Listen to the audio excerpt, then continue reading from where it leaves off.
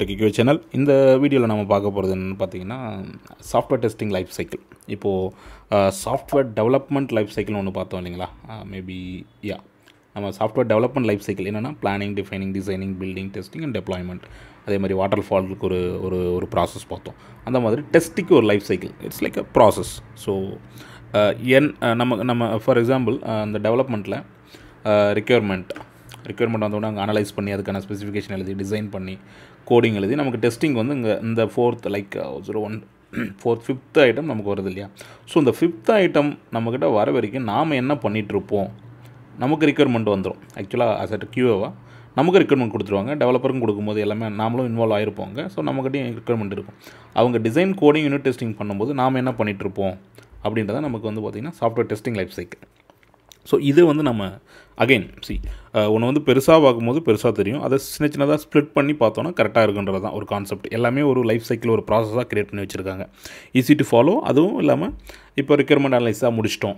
சின்ன சின்னதாக முடிக்கிறது ஈஸி ஸோ நமக்கு கொடுக்குற ரெக்யர்மெண்ட்டு இப்போ ஃபஸ்ட்டு பேஸ் வந்து பார்த்திங்கன்னா ரெக்யர்மெண்ட் அனாலிசிஸ் தென் வந்து test planning test case development test environment setup test execution test closure எல்லா இடத்துலையும் இதையே ஃபாலோ பண்ணுவாங்களான்னு பார்த்தீங்கன்னா இருக்கலாம். பட் இதுதான் process ninety nine percent companies follow பண்ணுவாங்க. ஒரு சில ஸ்டார்ட் அப்ஸில் வந்து பார்த்திங்கன்னா எல்லாமே ஃபாலோ பண்ணுவாங்கன்னா அப்படியெல்லாம் இருக்காது. டெஸ்ட் என்வரான்மெண்ட்லாம் ஒன்று இருக்காது. டெவ் என்வரான்மெண்ட்டு நம்ம டெஸ்ட் என்வரான்மெண்ட்டுக்கு யூஸ் பண்ணிப்போம். டேரெக்டாக ப்ரொடக்ஷனில் போட்டுருவாங்க. ஸோ ஃபைனலாக அவங்க டெஸ்ட் என்வரான்மெண்ட் தனியாக ஒரு தேவைப்படும் போது தான் தனியாக க்ரியேட் பண்ணி கொடுப்பாங்க. அது வரைக்கும் நம்ம டெவ் என்வரான்மெண்ட்டை கூட டெஸ்ட் என்வரான்மெண்ட்டாக யூஸ் பண்ணிட்டுருவோம். ஸோ டெஸ்ட் கேஸ் டெவலப்மெண்ட் இருக்குமா அப்படின்னு பார்த்தீங்கன்னா test cases or test scenario so two different ஒரு ஐ லெவல் யூனிட் அந்த செக் மாதிரி எல்லாம் இருக்கணும் இருக்கலாம். அகைன் வந்து depends on the project and situation where we are but ஒரு ஸ்மால் ப்ராடக்ட் ஒரு ஷார்ட் டேர்ம் ப்ராடக்ட் அப்படின்னும் போது நம்ம இது எல்லாமே பண்ணணும்னு டைம் வேஸ்ட் பண்ண அவசியம் இல்லை. பட் அதுவே ஒரு லாங் டேர்ம் ஒரு ten fifteen years long run project maintenance ஜாஸ்தி இருக்கணும் போது இது எல்லாமே இருந்தால் மட்டும்தான் மெயின்டெனன்ஸ் பண்ண முடியும். ஏன்னா many people change job so இப்போ நான் பண்ணிகிட்ருக்கேன் எனக்கு தெரியும் நான் எதுவும் எழுதி வைக்க தேவையில்லை. பட் நான் அந்த கம்பெனி விட்டு போன அப்புறம் நெக்ஸ்ட் வரும் அதை எப்படி புரிஞ்சுப்பான் முடியாது இல்லையா? ஸோ அதனால் டீட்டெயில் டாக்குமெண்ட் எல்லாத்துக்கும் ப்ரிப்பேர் பண்ணுவாங்க. அதுதான் மெயின் கான்செப்ட்டு ஸோ வந்து பார்த்திங்கன்னா நம்ம அதே ப்ராடக்ட் தான். பெட்ரோல் டீசல் ப்ரைஸு கேஸ் இது மூணோட ப்ரைஸ் தான் ப்ராடக்ட்டு அந்த ரெக்குயர்மெண்ட் ஃபுல்லாக அனலைஸ் பண்ணிட்டோம். ஸோ மூணு மாடல் இருக்குது டெஸ்ட் பிளான் பண்ணுறோம் ஸோ என்னென்ன டெஸ்ட்லாம் பண்ணணும்? என்னென்ன டைப் ஆஃப் டெஸ்டிங்கெல்லாம் பண்ணணும்?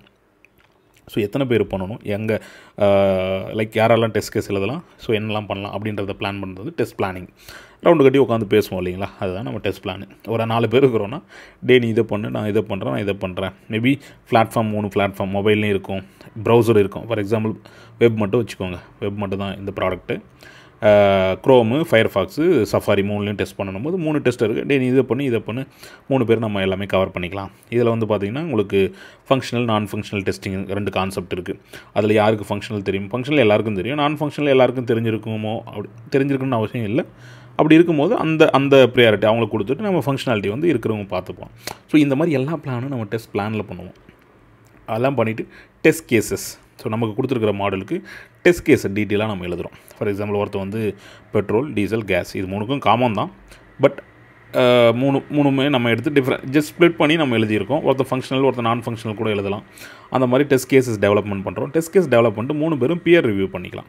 நீ எழுதுனது நானும் நான் எழுதுன நீயும் பண்ணும்போது சி நீ எழுதுனது நான் கரெக்ட் பண்ணுறனோ இல்லையோ உன்னோட டெஸ்ட் கேஸில் எனக்கு சில ஐடியாஸ் வரும். என்னோடய டெஸ்ட் கேஸில் உனக்கு சில ஐடியாஸ் வரும்.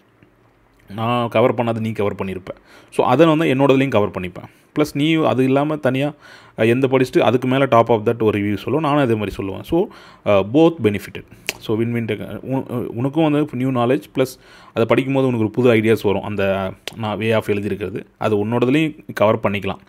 ஈவன் நான் சொல்லனாலும். ஸோ அந்த மாதிரி பியர் ரிவ்யூ பண்ணும்போது ரெண்டு பக்கமே பெனிஃபிட் ஸோ இது டெஸ்ட் கேஸ் டெவலப்மெண்ட்டில் நடக்கும். அடுத்து நான் டெஸ்ட் என்வரான்மெண்ட் சொன்னேன் இல்லைங்களா? ஸோ டெவலப்மெண்ட் என்வரான்மெண்ட்டை விட்டுட்டு ஏன்னா டெவலப்மெண்ட் என்வரான்மெண்ட்டை ஏன் யூஸ் பண்ணக்கூடாது அப்படின்னா அவங்க என்ன பண்ணுவாங்க? ஏதாவது ஒர்க் பண்ணிகிட்டே இருப்பாங்க டெப்ளாய் பண்ணிட்டே இருப்பாங்க. நம்ம திடீர்னு லாகின் பண்ணுவோம் திடீர்னு அவன் லாகின் மாடல் டெப்ளாய் பண்ணுவான். அப்போ லாகின் ஒர்க் ஆகாது. ஸோ எதுவுமே டெஸ்ட் பண்ண முடியாது. இது ஒர்க் ஆகுதா இல்லையானே நம்மளால் ஜட்ஜ் பண்ண முடியாது. ஸோ அதனால தான் நம்ம செப்பரேட்டாக ஒரு டெஸ்டிங் என்வரான்மெண்ட் கேட்குறது பட் எல்லா இடத்துலையும் உங்களுக்கு இது கிடைக்குமான்னு பார்த்தா கிடைக்காது. டெவ் என்ன பண்ணுவோம் டெப்ளாய் பண்ணிட்டு ஃப்ரீஸ் பண்ணிட்டு இதிலே பண்ணுங்கள் அப்படின்னுருவோம் it's like cost ef cost effective தான் மோஸ்ட்லி வேறு எதுவும் கிடையாது. அடுத்து அந்த என்வரான்மெண்ட் ரெடி ஆச்சுனாவே நம்ம எழுதியிருக்கிற டெஸ்ட் கேஸை எக்ஸிக்யூட் பண்ண ஆரம்பிக்கணும். நம்ம இப்போ ஃபார் எக்ஸாம்பிள் வந்து நான் நான் வந்து பெட்ரோலுக்கு எழுதுனேன்னு வைங்களேன். இப்போ பெட்ரோல் டீசல் ரெண்டுமே நான் தான் பண்ணணும். பெட்ரோல் நான் தான் எழுதுனேன் நான் பார்க்காம கூட கடை கடை எல்லாத்தையும் எக்ஸிக்யூட் பண்ணலாம். பட் டீசல் டீசல் ப்ரைஸ்னும் போது டீசல் ப்ரைஸஸ்க்கு வந்து கொஞ்சம் வேரியேஷனோ இல்லை கமர்ஷியல் வெஹிக்கிள் இந்த மாதிரி ஏதாவது டிஃப்ரென்ஷியேட் இருக்கலாம். ஸோ அந்த டெஸ்ட் கேஸ் நான் ஒன்று ஒன்றா பார்த்து ஏன்னா என்னோட பியர் கொலிக்கு வந்து எழுதுனது. ஸோ அது எல்லாத்தையும் நான் கவர் பண்ணிட்டு இது எல்லாத்துக்குமே ஒரு டூல் இருக்கும். டெஸ்ட் கேஸ் எழுதுறதுக்கே வந்து டெஸ்ட் மேனேஜ்மெண்ட்டுக்கு அப்படி இல்லைனா சிம்பிளாக எக்ஸல் கூட யூஸ் பண்ணிக்கலாம். ஸோ அதில் ஒரு காலம் ஸ்டேட்டஸ் போட்டு பாஸ் ஃபெயில் ஃபாஸ் ஃபெயில் ஃபெயிலுனா என்ன ப்ராப்ளம் அதனோட ஸ்க்ரீன்ஷாட் வந்து அதே கூட அட்டாச் பண்ணி நம்ம பக் ட்ராக்கிங் டூல்னு ஒன்று இருக்குது ஸோ அதுக்கும் வருவோம். நெக்ஸ்ட் டிஃபெக்ட் ட்ராக்கிங் லைஃப் சைக்கிள்னு ஒன்று இருக்குது அதுலேயே நம்ம பார்க்கலாம். டெஸ்ட் எக்ஸிக்யூஷன் பண்ணிவிட்டோம் டெஸ்ட் எக்ஸிக்யூஷன் பண்ணிவிட்டு நம்ம மேபி ஒரு டூ டேஸ் த்ரீ டேஸ் எடுத்துக்கிறோம் அப்படின்னும் போது டெய்லியும் வந்து நம்ம ரிப்போர்ட் அனுப்புவோம். அந்த பக்கை வந்து அப்பப்போ அனுப்புவோம்.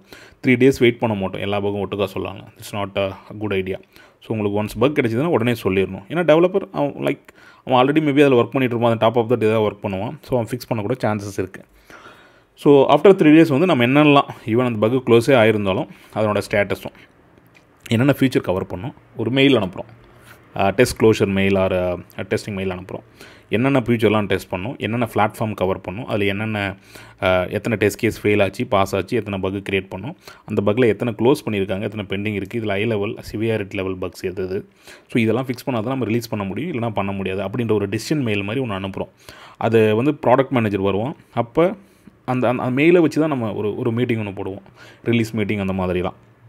இதெல்லாம் எங்கேயும் இருக்காது டிபெண்ட்ஸ் அந்த ப்ராடக்ட் மாறும். ஓகே இந்த பக்கு கண்டிப்பாக ஃபிக்ஸ் பண்ணி தான் ஆகணுமா? இதனோட எஃபெக்டிவ் வந்து எவ்வளோ இருக்கும்? கஸ்டமருக்கு இது ரொம்ப முக்கியமாக அப்படின்னு ப்ராடக்ட் மேனேஜர் வந்து அப்போது வந்து சொல்லுவான். நம்ம வந்து இது ரொம்ப முக்கியம் நினச்சிருப்போம். இல்லை இல்லை இது ஒன்றும் பிரச்சனை இல்லை. இது இது ஜஸ்ட் லைக் ஓகே தான். பட் இன்னொன்று வந்து பார்த்தோன்னா லோ ப்ரியாரிட்டி பக் போட்டு இல்லை இதுதான் வேணும். அப்படி அங்கே ஒரு சில சேஞ்சஸ்லாம் நடக்கும். நம்ம சிவியாரிட்டி அந்த ப்ரையாரிட்டி கொடுக்குறதுல.